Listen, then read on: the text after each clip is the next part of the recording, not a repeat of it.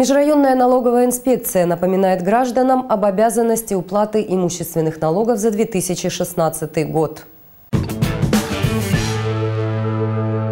Уважаемые налогоплательщики, свою гражданскую обязанность по уплате земельного, имущественного и транспортного налогов за 2016 год налогоплательщикам предстоит исполнить срок до 1 декабря 2017 года.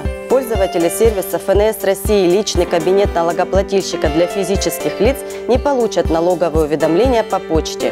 Им уведомления будут направлены в электронном виде в личный кабинет. Для тех, кто бережет свое время и хочет платить налоги через интернет, личный кабинет – незаменимый сервис. В нем можно сформировать платежный документ для безналичной уплаты налогов или распечатать квитанцию, чтобы лично оплатить ее в отделении банка.